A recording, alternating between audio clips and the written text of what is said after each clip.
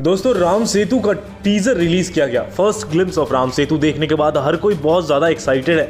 लेकिन एक्साइटेड नहीं है तो पाकिस्तान की जनता। जी हाँ दोस्तों, पाकिस्तान में भी काफ़ी ज़्यादा ट्रेंड करती हुई नज़र आ रही है राम सेतु। जहाँ ट्विटर पर ये ट्रेंड कर रही है तो इसे बॉयकॉट करने की बात की जा रही है।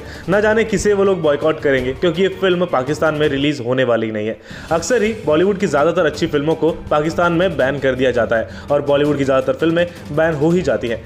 और साथ ही साथ, इसी वजह से मीडिया में भी काफ़ी ट्रेंड करता हुआ नज़र आ रहा है पाकिस्तान की राम सेतु, और यहाँ इसी की चर्चा हो रही है। बताया जा रहा है कि अक्षय कुमार अपना एजेंडा चला रहे हैं और राम सेतु के बिहाफ में वो बीजेपी को प्रमोट कर रहे हैं। ये बात पाकिस्तान मीडिया जमकर दिखा रही है। बहरहाल देखना होगा कि राम सेतु लोगों के बीच में कितनी पॉपुलर होती है। ये एक एक्शन पैक फ़िल्म है, जहाँ ऐसा लग रहा था कि एक कोर्ट रूम ड्रामा होगी, ऐसा बिल्कुल भी नहीं है। एक्शन से लेवरेज फ़िल्म की ज़रूरत अभी हाल फ़िलहाल जनता को बहुत ज़्यादा थी। जब से साउथ इंडस्ट्री ने अपना एक्शन का कदम रखा है, उसके बाद से हर कोई एक्शन की तरफ़ वापस से मुड़ गया है। और अक्षय कुमार एक्शन मोड में आए हैं तो दो लोगों के लिए देखना दिलचस्प रहेगा कि ये फ़िल्म लोगों के बीच कितनी ज़्यादा पॉपुलर होगी। आप हमें कमेंट करके बताएँ कि क्या आप राम सेतु देखने के लिए एक्साइटेड है। कमेंट ज़रूर करें और भी खबरों के लिए सब्सक्राइब करें। चैनल देखो देखो को।